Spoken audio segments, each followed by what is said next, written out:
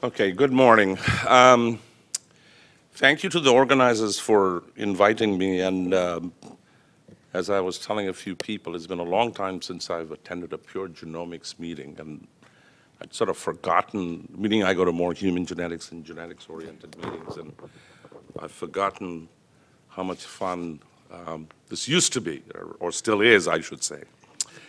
So, so given my current perspective, what I thought I was going to, uh, what I was going to do is speak to you about a specific example that I think will exemplify many of the problems we already discussed yesterday. So I'm not going to speak specifically about ENCODE, but rather how ENCODE kind of data are leading to the solutions of problems that we simply didn't have in human genetics. So um, to give you a perspective on disease, at least what the disease community or people who are interested in the pathophysiology of human disease, what is it that they want and why it intersects so strongly with genetics is uh, I've sort of used a quotation from uh, really in medicine, a very well-known book by Barton Childs, who used to be a colleague of mine and has passed away, unfortunately, a few years ago. And I'll recommend this book for you. It's called Genetic Medicine, A Logic of Disease, as to that's what genetic, genetics can provide. And he poses three very simple but cogent questions that patients want to know. And of course, we as scientists wish to answer, which is why me? Why this disease and why now? And if you think about it, you would appreciate that the first one has to do with the question of genotype, the second one has to do with specificity, and the third with many aspects, but clearly epigenetics and environmental factors come into play. So I think for a long period of time, we've been preoccupied really with just mapping human disease genes, both simple and complex, for a very simple reason. This was a very, very slow task, and you can't do genetics without at least knowing uh, what the unique identifiers are.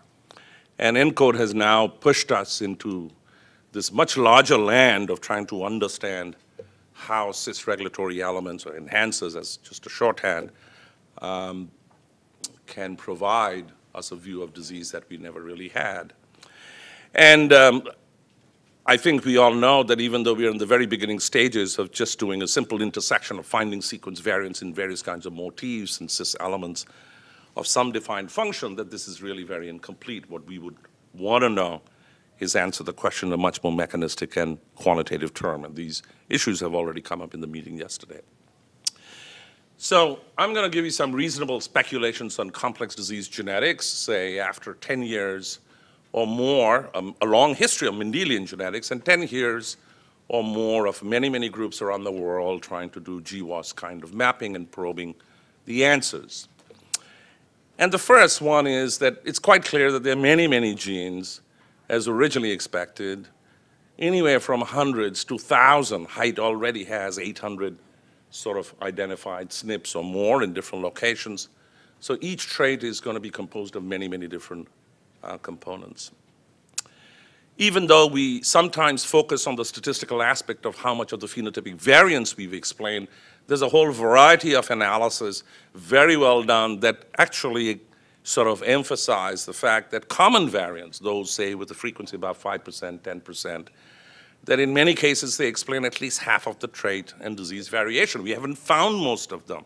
And this is where ENCODE, of course, in reverse can be, can be very, very important. And so the question is, if we don't have the statistical power to map them individually, which is the third point, we might never be able to find all the individual SNPs that contribute um, individually to height or diabetes or hypertension, um, let alone even the rare ones, so we have to find other ways of doing it.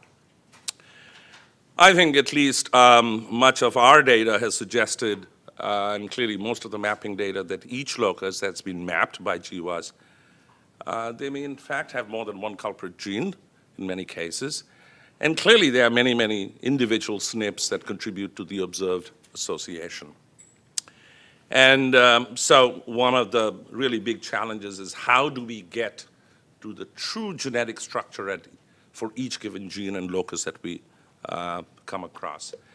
And at the end, I'm going to come back to this issue that we've done genetics, we understand the importance of the recombination map to focus on the bit of the genome where a particular part or a phenotype maps, But I would ask you to think, and I think we should argue for a while, that what ENCODE has brought to us is the idea of physical interactions between distal elements in a gene, and so we have to consider the physical distance. We will have to step out of the genetic recombination haplotype. A haplotype, as I will show you in my example, is often really, is really defined by the functional piece of DNA that is, that is relevant, not only what the recombination distances are that we've statistically focused on. Okay, so here's the example. We've studied this phenotype for many, many years for, as a model, as a model to understand what really happens in complex disease genetics. And many of the things that, or I should say, aspects of complex traits that we take for, um, that we take as given today, uh, we've been able to show using Hirschsprung's disease as a model for actually many years. I'm not going to talk much about the phenotype except to say that what it is is a defect of the enteric nervous system. Most of us don't think about the fact that we have an intact, almost independent nervous system in our gut, and these, uh, this is a disorder in which these children are born with absence of the enteric nervous system in the gut, which leads to a functional obstruction and needs to be repaired, and there are all kinds of other consequent both problems that comes with efficient repair as well as without repair. As disorders go, it is relatively rare. It's about one in 5,000 live births, but this, of course, is 10 times or more common than most Mendelian disorders. It is clearly multifactorial uh, from a variety of evidence. It's got a 4% recurrence risk and many, many other features that has allowed us to probe the genetics. At a molecular level, the study is done for a long time. We know three essential bits. And the three essential bits is much of the genetic defects that we've known arise because of defects in two major signaling pathways. Is this the one? The one in the middle is the laser egg. They occur through two, uh, two major signaling pathways. This is a receptor tyrosine kinase pathway mediated through RET, and this is through a G protein coupled receptor, the endothelin type B receptor, and all of the other components. And I'm not going to go into details. There's very strong epistasis between these two pathways, and we have a crude understanding as to how this epistasis arise, arises. The second feature that is quite uh, strong is that the disorder really occurs because of an interaction, or I should say failure of an interaction, between what these cells of the gut mesenchyme do. They actually secrete many trophic factors. Now we know they secrete other factors that are important for the maturation of enteric neurons, and the enteric neurons or the neuroblasts themselves. So we at least have a crude understanding of what the mechanism is. That is, if you have a defect here or you have a defect here, that will lead to a failure of these two kinds of cells to communicate early in development. You get failure of these cells to develop and differentiate and proliferate and then differentiate, and you get lack of these cells, which is the aganglionosis that you see in the gut. Third, there are many genes that we have very definitively mapped to, or we find mutations in Hirschsprung's disease, but they don't fit in this pathway. So, so of course, there are many, many other portions that of the gut um, uh, physiology that impacts on this that we're trying to find out. But basically, RET is the major gene. And I'm just going to tell you, and maybe in question and answer we can discuss it, that we now know that almost every Hirschsprung patient has a RET mutations. Most of them are non-coding mutations, but almost every one of them have it. The essential feature for today's discussion is that even though it was found through severe syndromic forms of this disorder, uh, we now know that there are many, many missense mutations. They're individually rare. None of them are of full penetrance. And of course, we found analogous mutations in many other genes of the same pathway. SOX10, which is its transcription factor, GDNF, its ligand, and GFRA1, a very important co-receptor. RET is sort of an un unusual RTK in that it requires this co-receptor. The surprise came in trying to explain Hirschsprung's disease several years ago. There's a study that we did originally with Eric Green in the old days when you had to clone out pieces of DNA, you had to sequence, you had to do, we did um, multi-species um, comparative genomics to identify regions, which we then tested in, as enhancers. And we found a very common variant. It's about 25% in the general European population or those of European ancestry, but it is a gut-specific enhancer.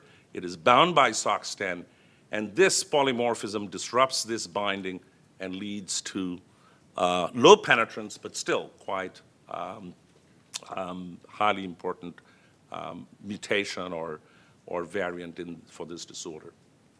Interestingly, it shows this form, that is, the coding is involved in the uh, long and severe forms, whereas the non-coding is involved in the short segment or the much more common forms. Because of this finding, we argued recently that because we knew of other enhancers in this region, that any regulatory variant that would reduce RET expression, which this one does, which clearly all these other coding mutations do, should have similar effects. So the idea is if we can find one loss of function mutation, any other loss of function mutation uh, that would lead to loss of RET expression, even through non-coding, should lead to that. And this is where this stands from the screening. And you can imagine that ENCODE has played, a, this is a, just a summary, has played a very big role in this. We now have three such different non-coding polymorphisms. Um, here are the RS numbers, which I never remember. RET plus 3 is the one that sits in the first large intron of RET. These two are further away, as you can, uh, I think there's a distance here. This is, so this is roughly 10 kb from the uh, transcription start site. RET minus one is a non-coding uh, polymorphism that's much further away. It's about 125 kil kilobases upstream. This is about 18 kilobases upstream, so closer to RET. They have very large allele frequencies, and here are the odds ratios. And these odds ratios, by any count, four or close to two, are really phenomenal so far as complex disorders go, which is why it makes this as a model. But if you did a genome-wide association study as we did, this would clearly be recovered. In fact, we found this quite, which is why we found it early. This one was discovered, uh, was recovered from a genome-wide association study. You would not take this because you would say, well, this is just another, you know, polymorphism that's in high LD in some sort, and of course it is not genome-wide significant. And the point that I'd like to make is once you get close to a locus, you have to try and interrogate the effect of many other polymorphisms that actually do interrupt the known elements. So here is what we did to, in order to find uh, these three, that is throughout the region, we did a much more forward kind of screen by looking at, we looked at 125 SNPs that were all of major frequency uh, that were peppered through this region in ENCODE defined elements of various sort. 34 of them were Hirschsprung's disease associated, that is by a conventional GWAS p-value. Eight of them lay within ChIP-seq peaks. In the specific cell line, This is a human neuroblastoma cell line and sort of relevant, really a relevant cell type in that sense. And all of these were enhancers, these GRICE enhancers, the enhancers we really identified the hard way uh, in this collaboration with Eric Green about 10 years ago. And what we find is three of them also showed allelic differences by doing various kinds of reporter assays. I think the effect sizes here are all substantial, not only individually but combinatorially. So these, uh, they are in a region in which there is some residual linkage disequilibrium, but as I will show you that the effects are not all at the same time in development. They act in different times in development, in different combinations, and that's the basis for finding genetic interactions, even between these non-coding elements. You know, these SNPs show significant levels of LD in the sense the R square is small, but they all lie in a pattern, and therefore their relative disequilibrium are all large. And therefore, what we can do is to identify a major source of missing heritability at this locus. So I'll very quickly go through. I think I've generally explained this. So here are the three polymorphisms. In this particular case, many of these uh, DHS sites and other sort of histone marks that came from the uh, both ENCODE as well as some from the roadmap project. And this is an intersection of all the SNPs that I told you about that anyway led to those three. If you looked at the transcription factors as well as if you looked at the sequence, that, under, uh, that was right under any of those SNPs. We found, we'd known before that RET plus 3 interrupted a SOX10 binding site, and this one suggested that it was a retinoic acid receptor site. Later that we proved was RAR beta, and this one was a GATA site. This later shown to be either GATA2 or 3, and in fact we find effects on both.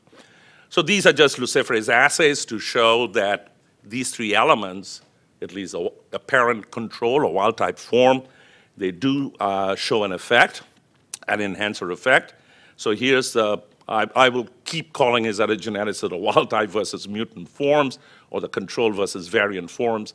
And as you can see, it actually scales fairly well with the odds ratios. And and we have now done many more of these studies. By the way, some of the studies involve only two of the SNPs, some three, because we're in the middle of completing all of this. But even when we take all three, we have synthetic constructs in which we can assess reporter activity of combinations of these SNPs.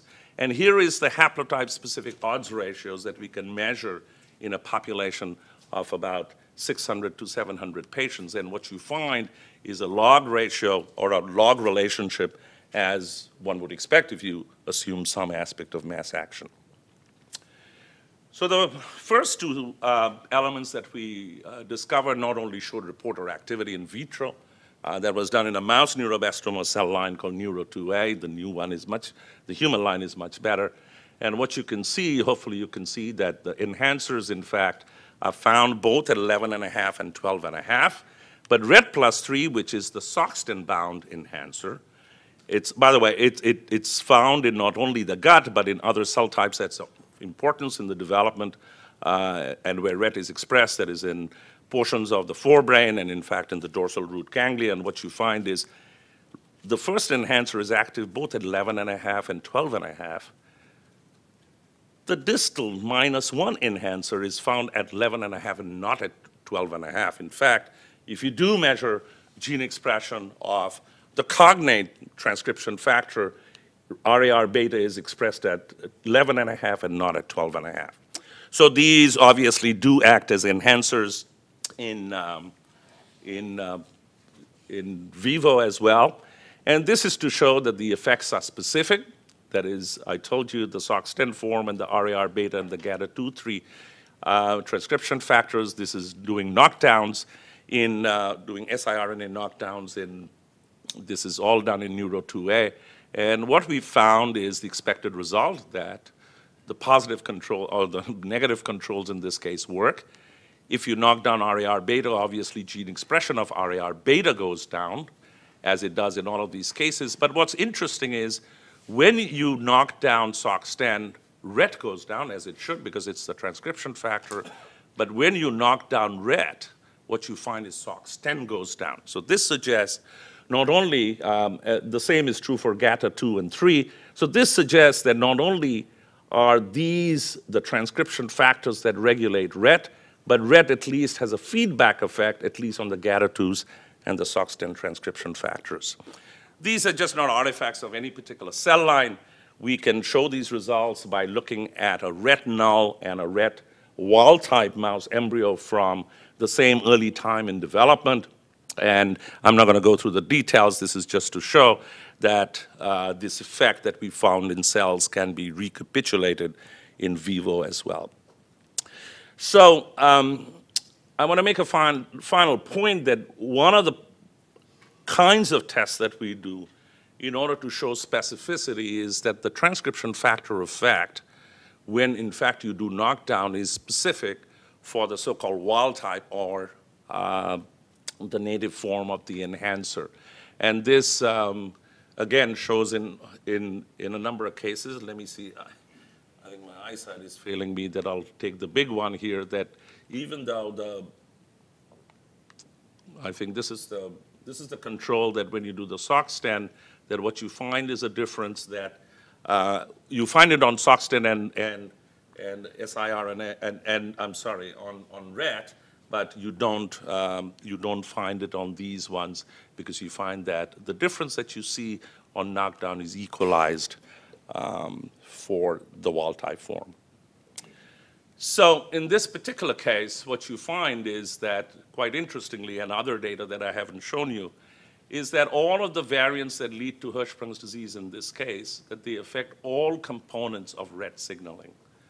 So I, this is a this is sort of written in the form of these are the three transcription factors. Obviously, they make the cognate proteins and they regulate RET. This is the part of RET production that is important, and I gave you some evidence that RET in fact signals back, and in some ways controls at least these two transcription factors. We also know that if you knock down RET, or if you look at the RET null mouse embryos, that they are negative regulators of its own ligand as well as its co-receptors. So, uh, so this fact is, so this is another level of control on RET. Finally, RET uh, is only active in its dimerized phosphorylated form. And this, of course, you don't want during early times of development. You want tight control of this to control proliferation within the gut. And so this form of RET is rapidly, in fact, cleared. The signal is terminated through the action of an E3 ligase called Cbl. And what we find is this is also positively regulated by RET. So RET is a particular case in which its production, its activation, and its signal termination are all controlled through various kinds of enhancers. And one of the interesting things is that we find that genetic variation in all of these components through its non-coding elements is an important part of this disease. So, um, and the total effect, therefore, depends on the total degree of loss of function. So I'm just going to end with a couple of uh, sort of pleas, really, that in order for us to understand even this relatively simple disorder, I think it required us to understand the rest of the network. That is, just finding a non-coding variant outside of RET was not sufficient for us to explain uh, the kinds of odds ratios, the kinds of patterns of risk that we see that are specific to not only haplotypes, but also in the groups of patients that we have. So I think it goes without saying that since no gene acts alone, understanding the functional context of its expression is actually very crucial for us to get eventually quantitative an, uh, answers. And that's what I mean by modeling and predicting what the consequences are going to be. And for this, there's a lot of extensive literature that suggests that the gene regulatory network is, in fact, a fundamental unit to consider because of many, many reasons indicated here. It's modular. Parts of this network is, in this particular case, very highly conserved.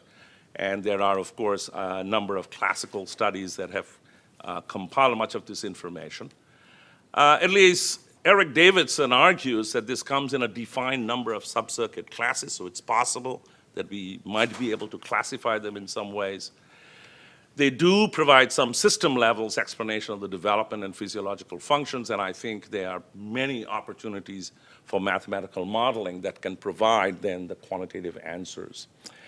And I think this finally gives us a way for understanding complex inheritance in a way that we haven't. We are still doing it on a gene by gene basis. Many of you in this audience would know the work of Eran Segal when he originally tried to model and explain gene expression along the anterior posterior axis during fly development. But this is a model, it's a thermodynamic model, it's fairly straightforward. And I think this gives us ways not only in this case to look at gene expression, but there are various ways in which what we are learning from ENCODE can be used to build mechanistic models for gene activity, for trait values, in some sense you'll hear Nancy Cox speak about it, and eventually for categorical diseases, uh, what matters, which is penetrance. So I'm just going to end with a series of acknowledgments of many people that have uh, helped us in these studies. And I know that I was asked to um, answer some questions, which I'll just keep out while I, and, and sort of point them out as, as we discuss. All right, thanks.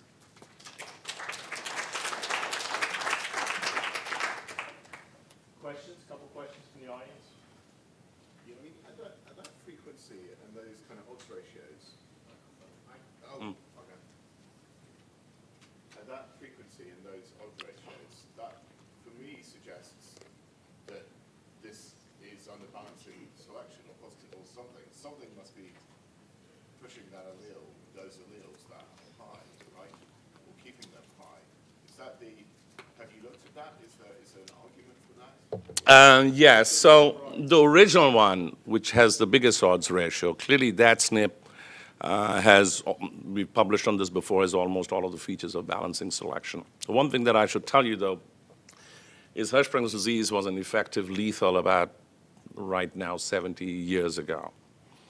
So it's gone from seeing only new cases or cases that were perhaps very, very mild and that had expression to now people living and obviously reproducing and passing the phenotype along.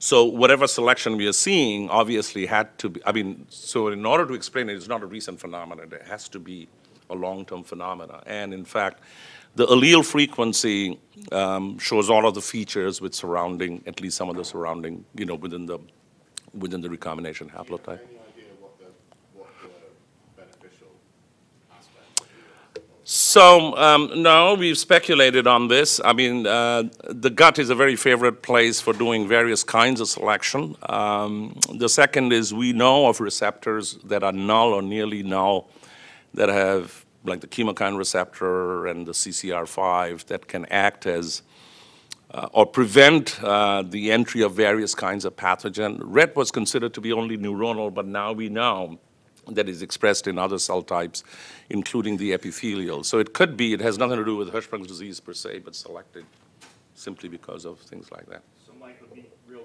short. Everyone, you- we've lost the uh, desk mic volume, so please speak up when, or project when you answer, ask your question. I was just curious, so did ENCODE or other data help you find the series to be able to find? Oh, ENCODE clearly And what helped frac- us. What fraction of them did you find using this? So ENCODE clearly helped us in, um, um, in the last two, the first one has been known for a very long time.